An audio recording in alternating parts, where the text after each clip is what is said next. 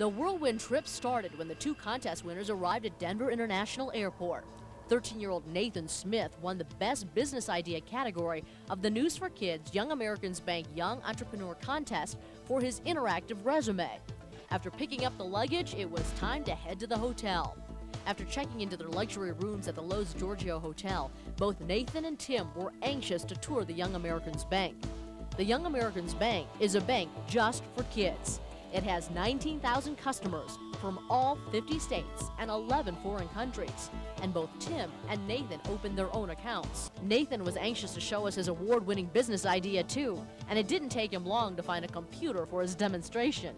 My business idea was to make an interactive resume uh, for people looking for jobs that had a lot of uh, PC users, Macintosh users, uh, computer users that really wanted to make an impact.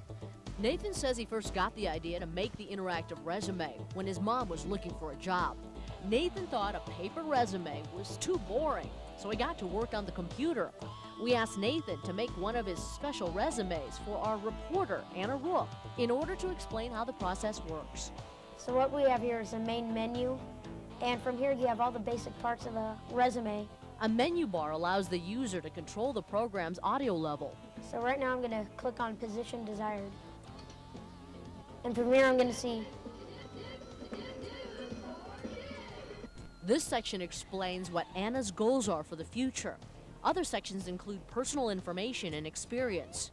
One thing that stands out in this program is the use of interactive video.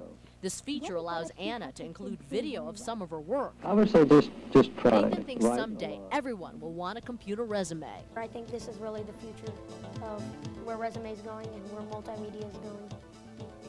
Both kids are really proud of their businesses and proud of winning the News for Kids Young Americans Bank Young Entrepreneur Contest.